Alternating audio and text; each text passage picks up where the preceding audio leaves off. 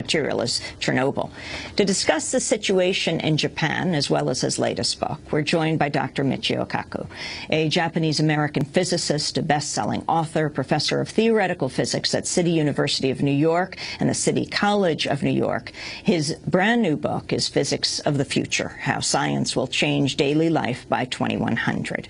Welcome to Democracy Now! It's great to see you again. Glad to be on the show, Amy. So, talk about uh, this raising of the category level to seven uh, on a par with Chernobyl. Well, uh, Tokyo Electric has been in denial trying to downplay the full impact of this nuclear accident. However, there's a formula, a mathematical formula by which you can determine what level this accident is. This accident has already released something on the order of 50,000 trillion becquerels of radiation. You do the math. That puts it right smack in the middle of a level 7 nuclear accident. Still less than Chernobyl. However, radiation is continuing to leak out of the reactors. The situation is not stable at all. So you're looking at basically a ticking time bomb. It appears stable, but the slightest disturbance, a secondary earthquake, a pipe break, uh, evacuation of the crew at uh, Fukushima could set off a full-scale meltdown at three nuclear power stations, far beyond what we saw at Chernobyl. Um, talk about exactly, I mean, as a physicist, to explain to people exactly what has taken place in Japan at these nuclear power plants. Think of driving a car and the car all of a sudden lunges out of control. You hit the brakes. The brakes don't work. That's because the earthquake wiped out the safety systems in the first minute of the earthquake and tsunami. Then your radiator starts to heat up and explodes. That's the hydrogen gas explosion. And then to make it worse, the gas tank is heating up and all of a sudden your whole car is going to be in flames. That's the full-scale meltdown. So what do you do? You drive the car into a river. That's what the utility did by putting seawater, seawater from the Pacific Ocean in a desperate attempt to keep water on top of the core. But then seawater has salt in it, and that gums up your radiator. And so what do you do? You call out the local firemen. And so now you have these Japanese samurai warriors. They know that this is potentially a suicide mission. They're coming in with hose water hose water, trying to keep water over the melted nuclear reactor cores. So that's the situation now.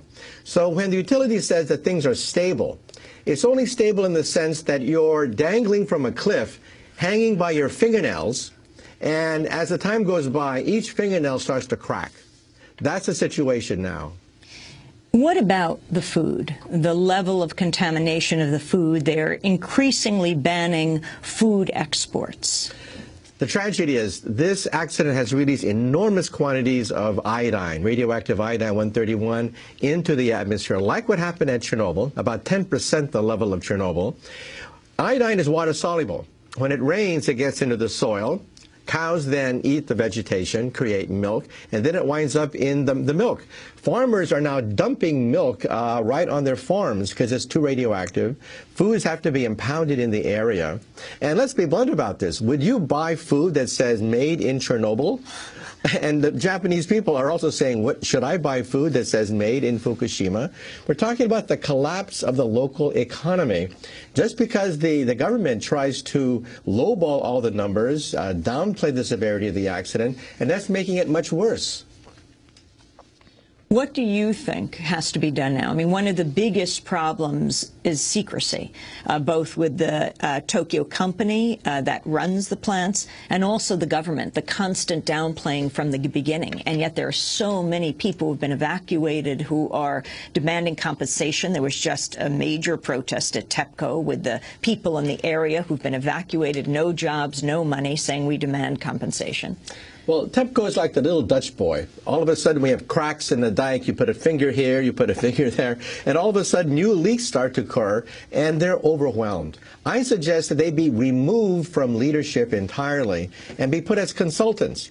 An international team of top physicists and engineers should take over with the authority to use the Japanese military.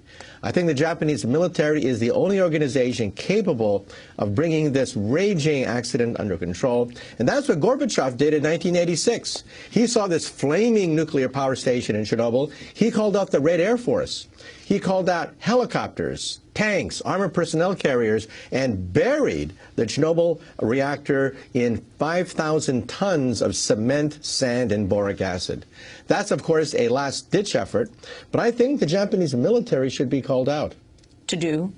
Because of the fact that the radiation levels are so great, workers can only go in for perhaps 10 minutes, 15 minutes at a time, and they get their year's dose of radiation.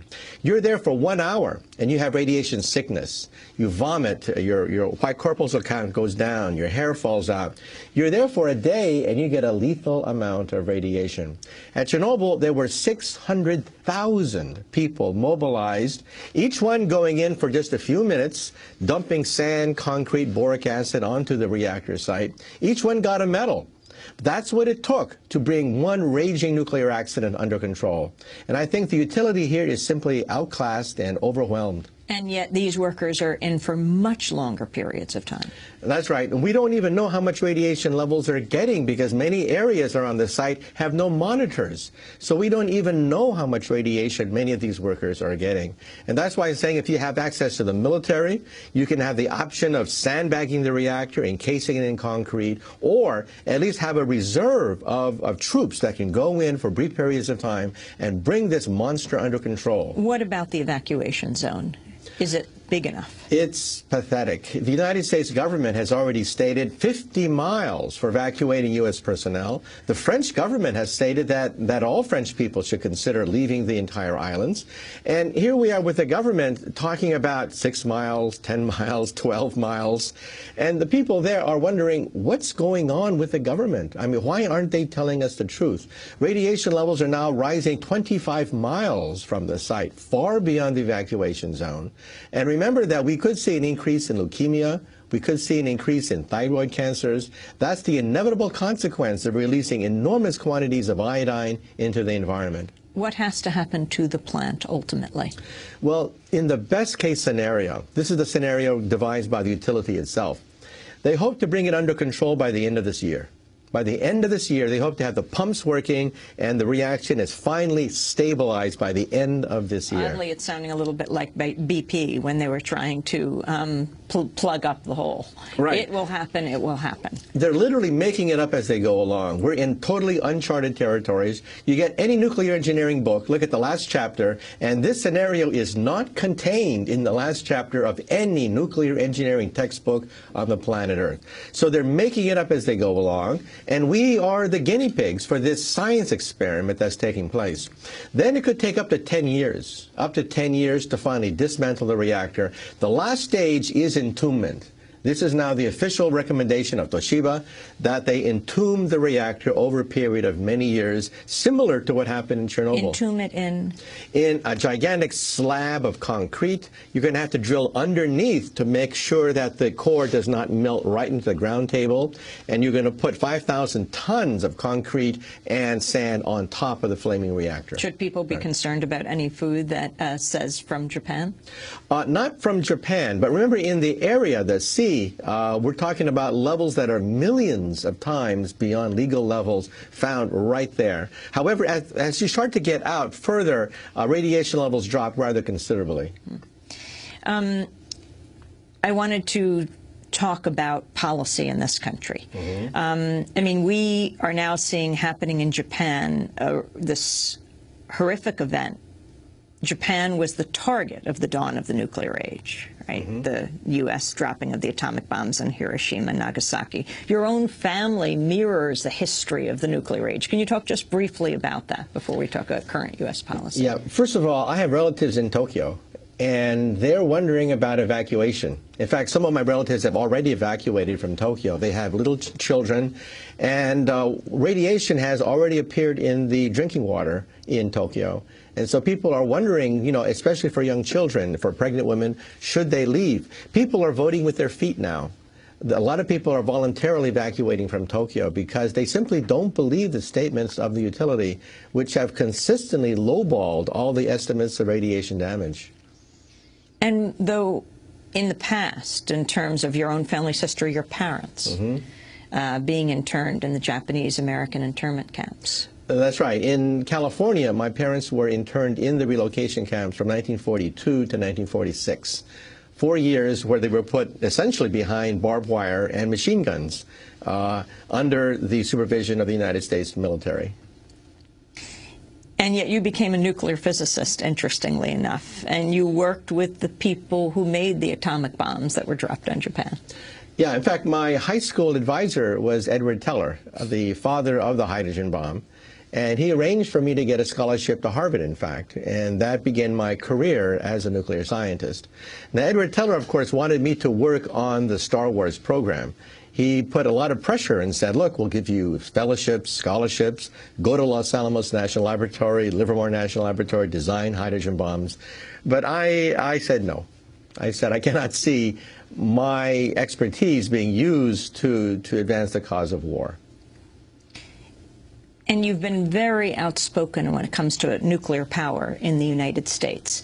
Um, this, of course, has raised major issues about nuclear power plants around the world. Many countries saying they're not moving forward. President Obama is taking the opposite position.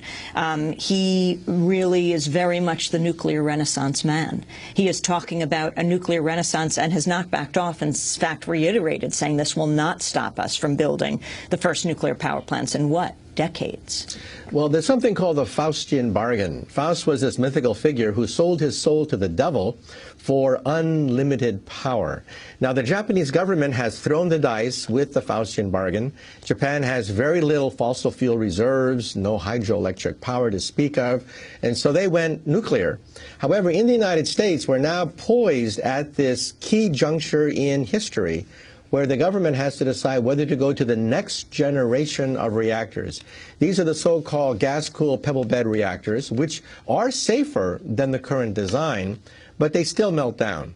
The proponents of this new renaissance say that you can go out to dinner and basically have a leisurely conversation even as your reactor melts down.